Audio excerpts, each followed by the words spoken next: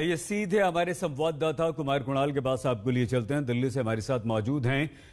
कुणाल अरविंद केजरीवाल ने जो कहा कि देखिए, कल से टैंकर आने शुरू हो जाएँगे। 21 रेडी टू वर्क यानी कि 21 ऑक्सीजन प्लांट आते ही काम करना शुरू कर देंगे। चौवालीस प्लांट लगाए जा रहे हैं उद्योगपति मदद कर रहे हैं।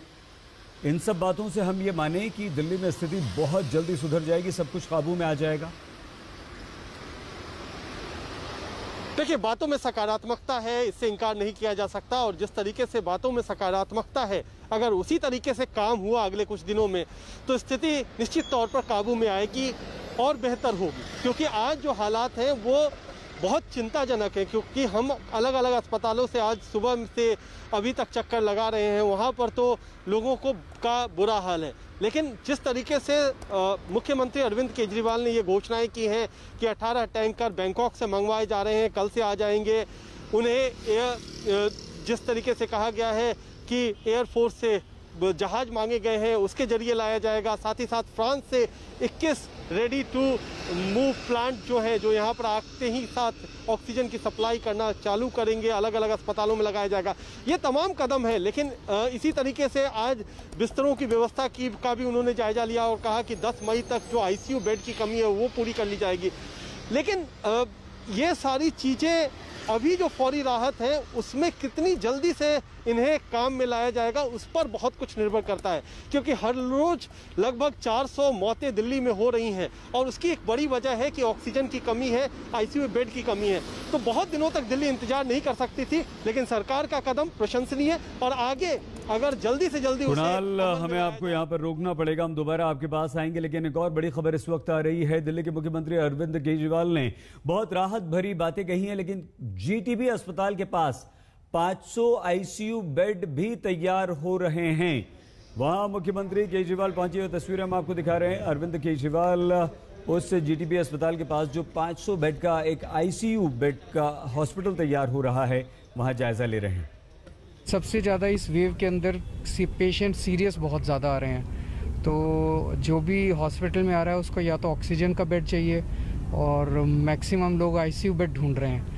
और अभी पूरी दिल्ली के अंदर हम देख रहे हैं कि लगभग आईसीयू बेड खाली हो, ख़त्म हो चुके हैं। तो ये वॉर फुटिंग के ऊपर जीटीबी हॉस्पिटल के सामने एक रामलीला ग्राउंड है और एक ही अपना जो दिल्ली का मेन रामलीला ग्राउंड है। तो 500 आईसीयू बेड उधर बन रहे हैं और 500 आईसीयू बेड इधर बन रहे हैं और 200 आईसीयू बेड राधा स्वामी वाले कॉम्प्लेक्स में बन रहे हैं। तो लगभग 1200 ICU beds proper ICU beds जो हैं, ये हमारे 10 मई तक बन के तैयार हो जाएँगे। तीन दिन थे जब दिल्ली में बहुत ज़्यादा अफरा तफरी थर्सडे फ्राइडे सैटरडे जब बहुत ज़्यादा एस ओ एस कॉल्स थे हॉस्पिटल्स के, इधर नहीं जा रही, मिल रही ऑक्सीजन उधर नहीं मिल रही। तो हमारे ऑफिसर्स ने और पूरी टीम ने मिलकर रात दिन, वो तीन चार दिन सोए नहीं बिल्कुल, रात दिन उन्होंने इंश्योर किया कि चाहे लास्ट मिनट पे पहुँचे ऑक्सीजन पहुंचाई।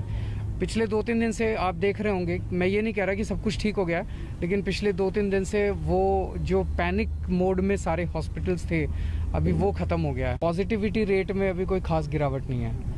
वही एक सबसे बड़ा पैमाना है डॉक्टर साहब।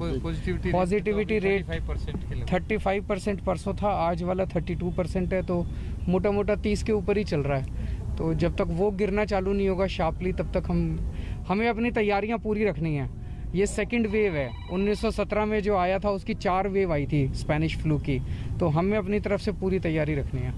हमारे देश में कोरोना की स्थिति पर सुप्रीम कोर्ट इस समय सुनवाई कर रहा है। अदालत ने सरकार से जवाब मांगा था और सरकार ने अदालत में अपना जवाब दाखिल कर दिया है। अदालत ने वैक्सीन की कीमत समेत कई मुद्दों पर भी सरकार से जवाब मांगा था। तो वैक्सीन के अलग अलग दाम क्यों हैं? सुप्रीम कोर्ट ने यह कहा। इसके अलावा कोरोना से निपटने के लिए नेशनल लेवल पर आपका एक्शन प्लान क्या है, वो भी सरकार ने बता दिया कि हम क्या क्या कर रहे हैं, किस किस तरह से कोरोना से लड़ने की कोशिश कर रहे हैं ऑक्सीजन सप्लाई कर रहे हैं, हमने ट्रेन चलाई हैं, हम एयरफोर्स के प्लेन्स की मदद ले रहे हैं, प्रभावित राज्यों में हम ऑक्सीजन भेज रहे हैं और हम कोशिश ये कर रहे हैं कि आईसीयू बेड जो हैं, वो लगातार उनको बढ़ाया जाए और लोगों को राहत पहुंचाई जाए। तो सुप्रीम कोर्ट में केंद्र सरकार ने अपना जवाब दाखिल कर दिया। नमस्कार, मैं हूँ अंजना ओम कश्यप हमें उम्मीद है ये वीडियो आपको पसंद आया होगा। लेटेस्ट खबरों के लिए यूँ ही देखते रहिए आज तक और इस वीडियो के पसंद आने पर लाइक शेयर एंड सब्सक्राइब करना ना भूलें।